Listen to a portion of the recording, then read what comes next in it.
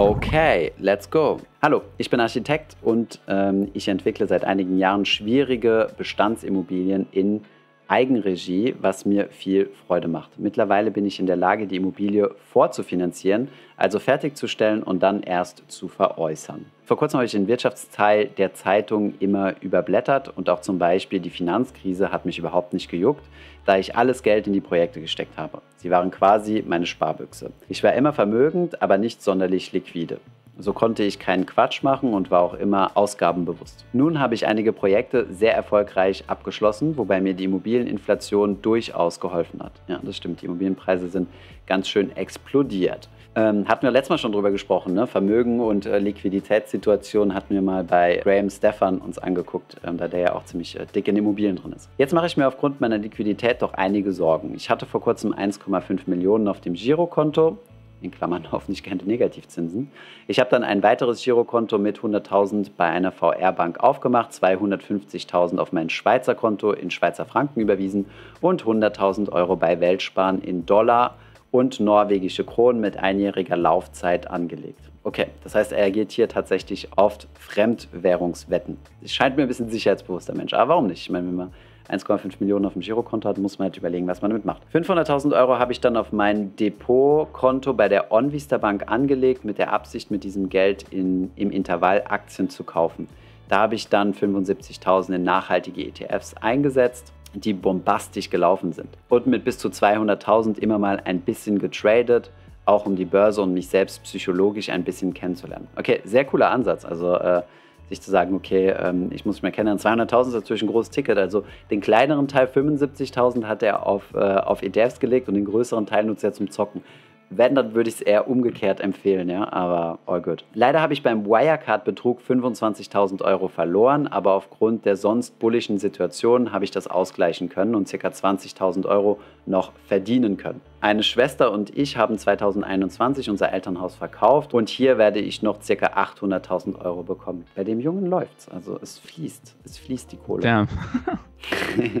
mein zur Verfügung stehendes Gesamtvermögen wird dann also ca. 2,4 Millionen betragen. Mit Immobilien bin ich sehr gut versorgt und schätze deren Wert auf ca. 4 Millionen. Okay, er hat also 2,3 Mio liquides Vermögen und da kommen dann nochmal 4 Millionen äh, Immobilienvermögen dazu. Okay, krass. Für den Notfall habe ich für ca. 200.000 Euro Gold gekauft. Man gönnt sich ja sonst nichts. Und ich beabsichtige das noch auf 300.000 aufzustocken, wenn der Goldpreis unter die 1.800 gehen sollte. Okay, das heißt, er hat jetzt zugeschlagen, weil es sieht so aus, als wäre er unter 1000, also hier ganz knapp 1790 Dollar. Das heißt, er hat jetzt von 200.000 auf 300.000 aufgestockt in Gold. Mein Wunsch ist es nun, mein Geldvermögen so anzulegen, dass es seinen normalen Wert erhält. Natürlich könnte ich für den Rest meines Lebens von meinem Vermögen sehr gut leben, aber darum geht es mir nicht. Mir geht es darum, dass ich das Geld für weitere Sanierungsmaßnahmen an Bestandsimmobilien verwenden kann. Er möchte das Geld quasi möglichst liquide haben. Ne? Ansonsten macht so viel Geld für mich und unseren Lebensstandard, mit dem wir total glücklich sind, gar keinen Sinn.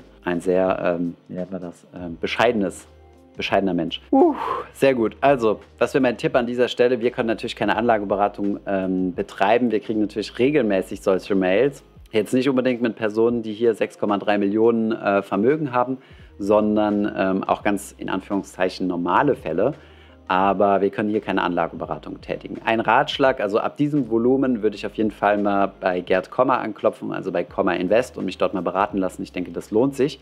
Wir können uns aber gerne mal zusammen anschauen, was so seine Ängste sind, was man so machen kann und einfach mal aufschreiben, ja, was so das, das Ding ist. Im Endeffekt möchte er ja nicht davon leben, von diesem Kapital, also beziehungsweise doch, er, er will schon davon leben, aber er braucht es jetzt nicht unbedingt. Das ist ja der Satz, der hier drin steht. Und er hat halt Angst vor, und das kann ich gut nachvollziehen, Währungsschnitten oder sonstige verdeckte staatliche Maßnahmen. Das könnten zum Beispiel auch Inflation sein. Ne? Wenn er das Geld auf verschiedensten äh, Konten hat, dann könnte das natürlich auch äh, dann inflationiert werden, ja? was dann nicht so ähm, positiv wäre. Ich glaube, es geht eigentlich nur, er will nur die 2,3 Mio sozusagen zu einem ohne Inflationsverlust und geschützt vom Staat verwahren über einen längeren Zeitraum, damit er sich mhm. weiterhin sein, im Immobiliengame austoben kann. Mhm. Zumindest so habe ich das verstanden. So sieht's aus, so habe ich das auch verstanden. Also jemand hat hier in Chat Schweiz geschrieben. Genau, Bitcoin schreibt einer rein. Das wäre übrigens auch so eine Idee, ja. Da, da habe ich auch direkt dran gedacht.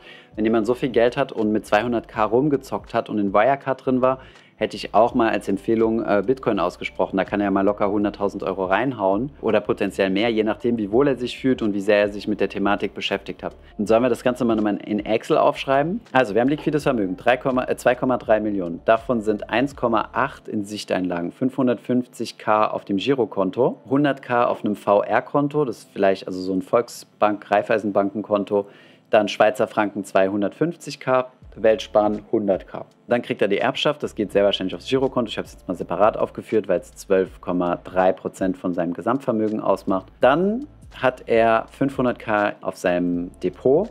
Davon sind 75 in einem ETF, der gut gelaufen sind. Ein Zockerdepot mit 220k und sonstiges Vermögen, was wir jetzt nicht aufteilen können, wo das drin investiert ist, weil wir wissen nur, dass er insgesamt 500 hat. 200 in Gold und 4 Mio in Immobilien. So, Jetzt ist die Frage, die sich stellt, was mache ich hiermit vermutlich? Denn er will irgendwie Liquiditäten haben, um sein Immobiliengeschäft weiter vorantreiben zu können. Denn wir erinnern uns, sein Geschäft ist, er kauft komplizierte Sanierungsimmobilien, finanziert die vor, also kauft die mit eigenem Cash, renoviert die oder verändert die und äh, verkauft die dann wieder. So eine Art Fix-and-Flip-Geschäft. Er möchte halt keinen Wertverlust und er möchte es vom, möchte es vom Staat schützen, weil mit diesem genau. Kapital genau. halt äh, aktiv arbeiten möchte. Genau. Was halt Ad-Risiko ist, sind diese 1,8 Millionen, denn das ist Geldvermögen. Das bedeutet, hier kann er quasi äh, bis irgendwie enteignet werden oder hier greift auch vor allem die Inflation an, was ja hier bei diesen Titeln hier nicht der Fall ist, beim Gold auch eher weniger. Von daher, was würde ich mit diesen 800k machen? Ja, hast halt relativ wenig Auswahl. Ich würde einen Teil davon in dein Depot übertragen, würde erstmal auf ein hundertprozentiges ETF-Depot umsteigen. Also die 500k würde ich äh, ein 70-30-Portfolio machen. Sorry für die Leute, die das schon antizipiert haben. Ist halt das Einfachste, ja. Oder auch jedes beliebige Portfolio. Du kannst ja ein Faktor-Portfolio machen, du kannst ja ein Core-Satellite, du kannst ja das Portfolio machen, wie du es äh, für lustig hältst. Und dann, was viele schon geschrieben haben, ein Teil davon würde ich auch in, in äh, zum Beispiel Bitcoin investieren wie viel ist denn ein Prozent vom liquiden Vermögen? Okay, ich bin noch dumm, das hätte ich im Kopf rechnen können, sorry dafür. 23 Prozent. Ja, ich hätte 10 Prozent, eventuell kann er in Bitcoin investieren, wenn er das möchte. 230 ist natürlich nicht äh, sehr liquide. Du kannst zwar Bitcoin jederzeit verkaufen, 200k hätte ich in in Bitcoin eventuell investiert. Also, was wäre unsere Suggestion, was man machen könnte, rein theoretisch? Und Chat, jetzt lass uns das zusammen erarbeiten. Also, erstens mal würde ich den ganzen Spaß hier vereinfachen und ein einziges, äh, ein einziges Girokonto machen. Schweizer Frankenkonto und so. Ich würde es ehrlich gesagt ziemlich liquide halten, ja. Ich würde sagen, äh, wir haben gesagt, äh, Bitcoin kann er 10% reinstecken, wenn er das will. Ja. Wäre ganz gut zu wissen, eigentlich, wie viel. Ähm so Liquidität er eigentlich tagtäglich braucht für seine Projekte. Wenn er zum Beispiel ja. jetzt sagen würde, okay, ich mache immer so schwierige Sanierungsfälle und die kosten in der Regel so, also sind das Projekte zwischen 300 und 600k und ich mache ein Projekt pro Jahr, ja. dann ist das quasi der Betrag, der immer liquide zur Verfügung stehen soll, dass er halt immer, immer was zum Arbeiten hat quasi. Ja. Aber ähm, dann könnte er die anderen Geldbeträge, also den restlichen Betrag vielleicht ein bisschen längerfristig anlegen und dadurch ähm, die Inflation. Vielleicht kann man sagen, hier hätte ich, hätte ich eine Mio draus gemacht, weißt du? Jetzt, jetzt weiß ich nicht mehr wie viel. Ähm, 180.000 habe ich dann noch, okay. Dann hätte ich noch 180.000, die hätte ich hier oben drauf gelegt. Weiß ich nicht, wie viel er braucht an, an regelmäßigem äh, Vermögen. Ich weiß nicht, ob ihm eine Mio hm. reicht. Ich meine, selbst im Immobiliengame jetzt äh, hat sich auf ein Vermögen von 4 Mio hochgearbeitet, ist schon sehr respektabel, aber es hat eigentlich immer noch im kleinen Rahmen. Also ich glaube schon, dass die, dass die Projekte jetzt nicht so gigantisch sind wahrscheinlich. Aber gut, kann man, man kann nur vermuten, ne? Genau, also das wäre mal so eine Simplifizierung seiner Anlage. Ich würde 1,5 Millionen entweder Cash oder Tagesgeld oder ja, Tagesgeld für 1,5 Millionen ist Festgeld mit so einer Zinstreppe. Haben wir mal ein Video zu gemacht. Also 2,8 Prozent von seinem Gesamt. Gibt es so Limits beim Festgeld? Menschen, ne? Ja, gibt's schon. Aber gut, da muss er halt über mehrere Festgelder aufteilen. Ne? Und dann beim Depot hätte ich gesagt, äh, ESG ETF Portfolio, hätte ich mal so den größten Teil reingesteckt. Das sind ja auch nur 5%, also von seinem Gesamtvermögen. Ne? Da hätte ich den größten Teil, sein Zockerdepot auf maximal 100.000. Ich meine, er hat sich ja schon die Finger mit Wirecard verbrannt. Das heißt, ich könnte mir vorstellen, dass er da ein bisschen entspannter dran ist. Und diese 200 hätte ich auch platt gemacht und auch ins, äh, ins ETF-Depot, weil ich weiß jetzt nicht, was, äh, wie sich das zusammensetzt, aber ja, so würde ich sagen, kann man sein Portfolio eigentlich ganz gut äh, vereinfachen, indem man zum Beispiel sagt, okay, 500k stecke ich in ein ETF-Portfolio, 100k stecke ich in mein Zocker-Portfolio, 1,5 habe ich liquide für meine Immobiliengeschäfte, einen kleineren, also für seine Verhältnisse kleinen Teil, ne, sind ja nur 2,8 Prozent von seinem Gesamtportfolio, Ähm, Teil kann er zum Beispiel in Bitcoin investieren, habt ihr ja drüber, habt ihr ja suggested. Ansonsten Goldposition würde ich jetzt mal nicht anfassen. Es scheint ihm wohl irgendwie wichtig zu sein. 4 Millionen in Immobilien und den Rest ins Gesamtvermögen. Natürlich ist die Tendenz immer gut, wenn er, je mehr er zum Beispiel in diese weltweites Aktienportfolio stecken kann, weil das ist halt das, was langfristig wachsen wird. Aber vielleicht hat er sich erst seit kurzem mit unseren Videos beschäftigt. Wäre so eine Simplifizierung, wie ich es mir denken würde, dann hat er auch weniger Risiko. Die einzige Riskposition sind hier die 1,5 Mio, die quasi äh, durch Inflation angefressen werden können und so. Aber im Endeffekt ist das ja sein Working Capital, wie das im Unternehmerischen heißt. Und Working Capital ist ja wichtig, wenn du mit Immobilien arbeitest. Ansonsten muss er selbst definieren, was halt so sein Working Capital ist, also wie viel Cash er. Und den Rest würde ich dann halt aufs Depot packen. Vielleicht nicht unbedingt on Vista, gibt ja auch Alternativen. Und über die Goldposition würde ich halt auch nochmal nachfragen, hey, was ist das für Gold? Wo liegt das? Ist das physisch? Und solche Dinge. Also nicht, wo liegt das, um vorbeizukommen, sondern ihr wisst, was ich meine. Also das war soweit unser Portfolio, wo wir mal drüber sprechen wollten. Von der Mail, die wir eigentlich ziemlich amüsant fanden, dass uns da jemand mit so einem Vermögen halt fragt und dann, dass man dann halt auch ganz gut sehen kann, ja, auch solche Leute äh, machen sich Gedanken über Geld, denen es ja schon mal ganz gut geht.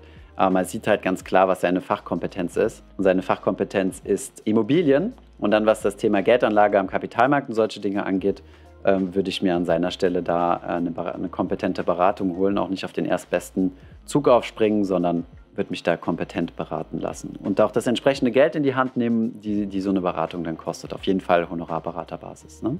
Also Honorarberatung oder, oder sowas wie Gerd Kommer oder genau, also halt ein Vermögensverwalter, mit dem er halt über das Thema Kapitalmarkt sprechen kann. Gut, That's it soweit. Ich hoffe, dir hat dieser kurze Überflussclip gefallen. Wenn ja, lass uns doch gerne einen Daumen hoch da und schau dir gerne die weiteren Clips hier oder hier an. Und wenn du in Zukunft keine Highlights mehr aus unseren Streams oder Interviews verpassen möchtest oder einfach Clips aus der Finanzflusswelt, dann solltest du Überfluss auf jeden Fall abonnieren. Bis zum nächsten Mal.